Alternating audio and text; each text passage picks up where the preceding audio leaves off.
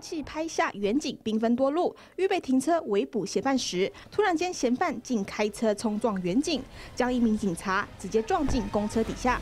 警校人员搏命维护治安，不幸身亡。但由于因公殉职的标准模糊，导致不同抚恤结果。为了争取权益，国民党立委二十二号召开记者会，希望修改警察人员人事条例施行细则，让抚恤标准明确化。以身啊来牺牲啊，为了完成任务，然后牺牲自己的这样子英勇的啊行为的话，我们希望可以让他可以真正达到。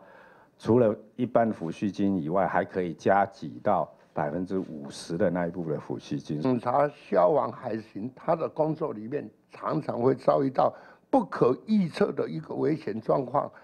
的时候，我们也要把它肯定，呃，跟认同他们真的是为了公保障人民生命。内政部表示，经过多次协调会议，已达成共识，将明确界定因公殉职的标准，来修改《警察人员人事条例施行细则》第十七条第二款相关规定。而消防人员和海巡也会一并适用。以后从事危险工作，员警队不幸死亡后属因公或因公殉职，将有更明确的界定。啊，另外消防跟海巡人员也将一并适用。至于放宽抚恤认定标准，是否会造成政府的财政负担？林维忠强调，警政署统计，一百零五年仅四名警消人员因公死亡，都可被认定拿到百分之五十追加抚恤金，也有百分之二十五、百分之十等其他认定标准，不至于对财务有重大影响。但对于第一线出勤危险任务的警消人员，具有重要的鼓励作用。